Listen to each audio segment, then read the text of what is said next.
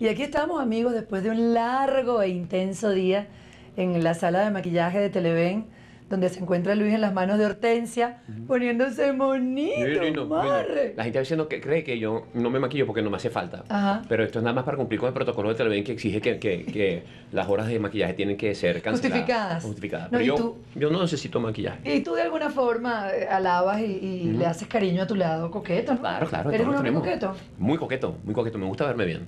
Y. mm, ajá, qué rico. a Los mí estas cosas me relajan. Yo, yo le estaba comentando a, a, A Franklin, mi Franklin, tu maquillador, sí.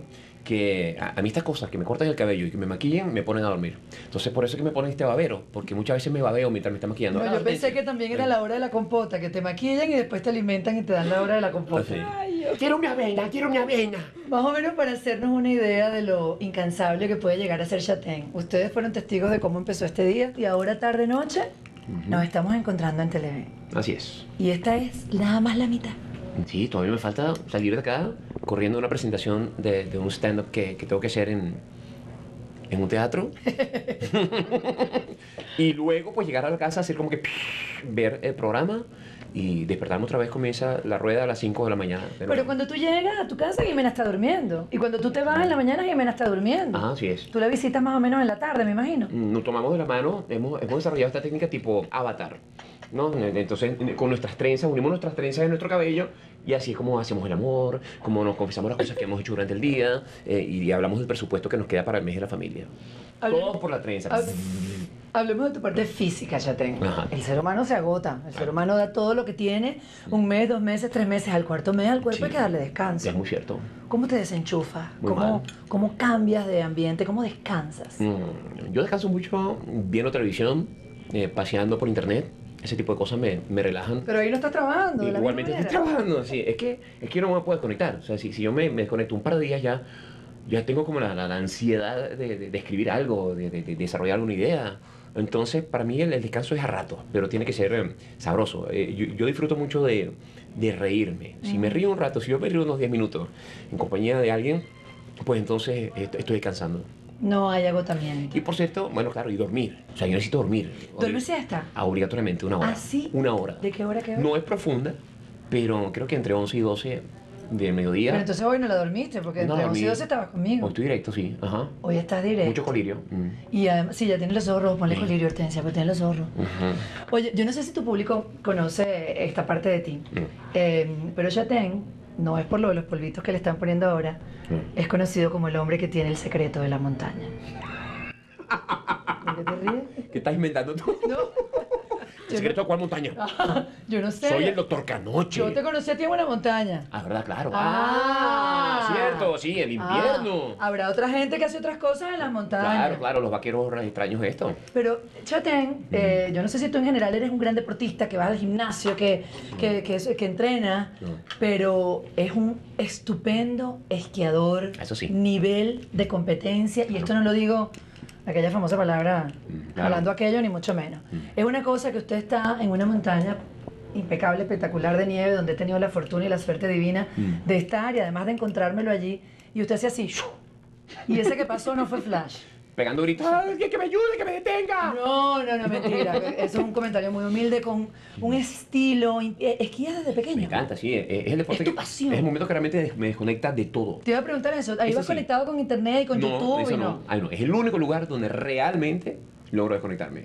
En una montaña cubierta por nieve. Eh, desde, desde el paisaje, el clima frío eh, y luego pues la habilidad que uno pueda, el reto de esquiar. ¿Cómo agarraste esa habilidad? Porque mientras yo voy por la pista más fácil, por donde van los niñitos de dos años y me pasan, y yo, ¡ah, ya va, ya va.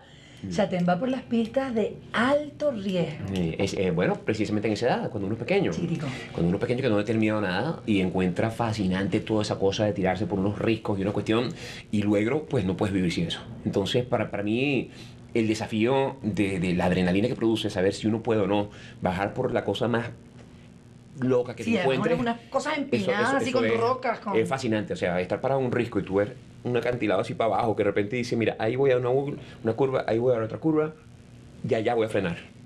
Y ver si realmente lo puedes hacer es, es genial, a mí me encanta. Tú sabes que yo tengo esta pasión por, la- por Reni, Reni Torina. Por. Tengo, tengo una pasión tremenda por, ¿A conociste, por su por historia. cierto? Sí, y tengo, tengo de muy niño. Eh, y Reni dormía pocos minutos en el estudio ahí en Radio Caracas. Él pedía que le bajaran las luces, se recostaba en el escritorio y con eso recuperaba y seguía adelante. Un hombre súper trabajador y eso a mí me conecta mucho. Pudiera haber sido Reni ese Hoy en día las, las generaciones jóvenes siguen a Chatén. Pudiera haber sido Reni la persona que tú seguiste, que aprendiste, que te inspiró. Toda seguridad, no solamente en el plano profesional, en el plano eh, eh, humano, o sea, como venezolano. Renny fue un sujeto que no se quedó dormido en el tema de la farándula. Fue, fue un hombre que recorrió a Venezuela por todos los, Sí. sus rincones y, y se la mostró al país de una manera distinta, de una manera inteligente, de una forma motivacional. Con el programa este que hizo de Planeta de Agua, luego Churumerú, cuando, cuando la caída, este, la visita al Salto Ángel, una cosa que, que emociona tanto. Yo sí, ustedes pueden buscarlo en internet, búsquenlo. Ese momento en que Renny llega con Carlos Morián y todo su equipo a la base del Salto Ángel y dice empapado así sin los lentes que, que le caracterizaban, qué orgullo siente de ser venezolano. Así es. Re- re- arréglale por aquí porque yo siento que. Tú dices, Por su barbita. Mira, ponme más pelos en la barba a la no es hora izquierda. de ponerle como botox. Yo estoy pensando. ¿Tú, tú llegarías a eso? No, yo siempre he dicho que no. Pero últimamente he pensado, caramba, si yo lo consulto a la audiencia. No, yo, yo, yo siempre he dicho, yo voy a envejecer frente a las cámaras. O sea, yo me iré quedando calvo frente a la cámara, yo, me, yo empezaré a, Así como a- lo hizo a ser canoso, claro, frente a las cámaras. Y, y- y creo que, que es lo más digno para, para uno que ha trabajado con tanta transparencia y reverencia a lo largo del tiempo. ¿Y estás preparado para el juicio de la gente que a veces puede ser muy duro? ¿Para envejecer? Sí. Eh, pues no. Yo creo que nadie. El que diga que sí, el que está mintiendo. Es verdad. O sea, to- todos estamos aferrados a, a nuestra juventud, a la energía que tenemos pa- para trabajar. Em, pero hay que ser consciente que el tiempo pasa, que vienen nuevas generaciones y que uno, uno ha de, de estar aquí presente en la medida que las cualidades pues, le den a uno la, la posibilidad de estar. Y además, hoy en día con Twitter, si te dice que está feo, lo borra. Claro, chica. Y, y me abro un canal en YouTube y Lo ya está. y listo, y hago lo que me da Ah, que ya no me quieren en televisión. Bueno, no importa, ahora me hablan por YouTube. Ah, ya no me quieren en YouTube. Bueno, está bien, ok.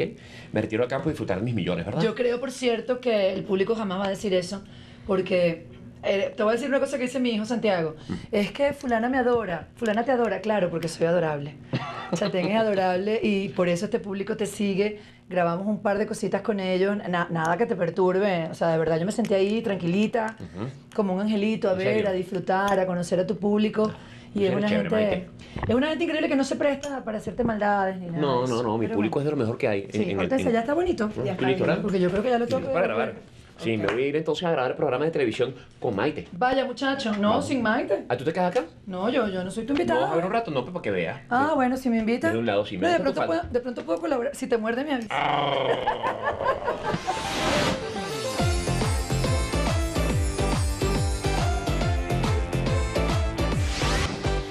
Es la más famosa, es la número uno, es una estrella en nuestra televisión. Gracias al autobús que está pasando de fondo.